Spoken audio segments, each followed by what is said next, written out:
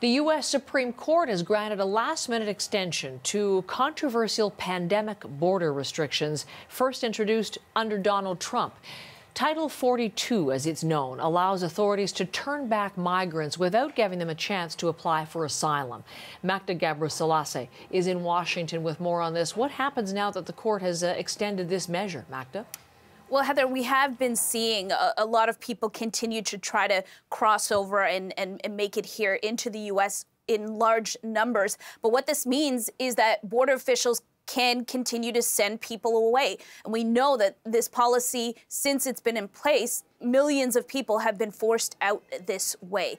And with it scheduled to expire on Wednesday, uh, recently along the border in Mexico, there have been tens of thousands of migrants seen there uh, anticipating this uh, expiration. They've been camping out outside in the cold. Some are, are making their way into shelters, sleeping on hard floors. And there was one man uh, in a shelter in the city of Juarez where he said he, he was waiting uh, for the end end of Title 42 to see what would happen to him and the others. Now, here in the U.S., you've had some officials pushing back on this. You had some 19 Republican states putting up that legal fight, trying to keep uh, the policy in place. So take a listen to Texas Governor Greg Abbott.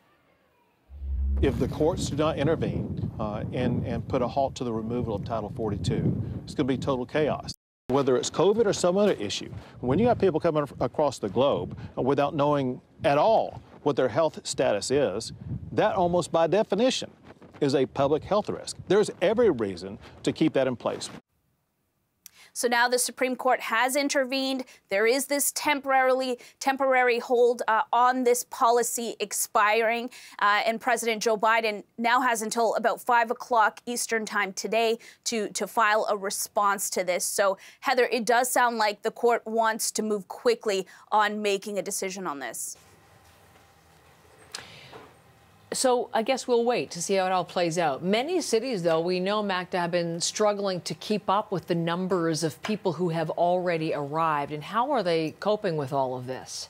Yeah, and you know, it's not just the southern states. We have seen uh, migrants being bused to other location. New York says it's taken in some 31,000 people so far. The mayor there was warning recently that it could mean uh, a cut in services to, to help to continue to, to care uh, for the people arriving there. And in El Paso, Texas, they're over, overwhelmed by this crisis. Uh, the mayor there called a state of emergency because of just how many people were, were coming in and were actually sleeping out in the cold uh, before uh, the temporary hold on Title 42 uh, being lifted was actually announced. Here's what he had to say.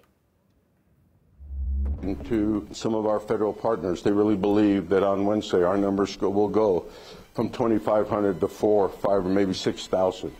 And uh, when I asked them, I said, Do you believe that you guys can handle it today? The answer was no. So again, for now, Title 42 remains in place. Uh, we'll have to see what uh, President Biden has to say about that and how this all plays out in the end, Heather. Makda, thank you. Makda Ghebreslassie is in Washington.